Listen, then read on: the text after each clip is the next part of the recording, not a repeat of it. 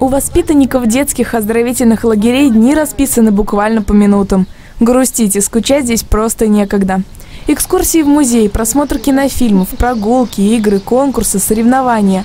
Каждый день педагоги придумывают для своих воспитанников что-нибудь новенькое. Одним из ярких событий для ребят лагеря при 222 школе стала квест-игра.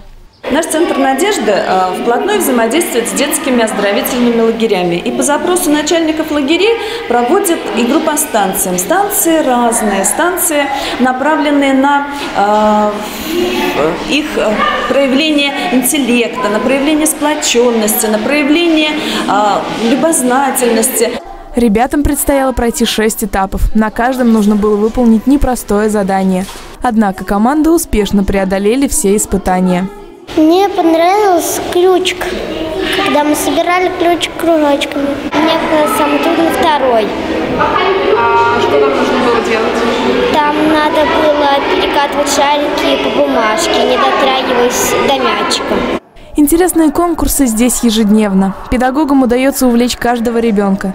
И даже те дети, которые поначалу не верили в то, что в лагере может быть настолько интересно, теперь с удовольствием бегут на утреннюю линейку, соревнуются в веселых стартах, поют и рисуют.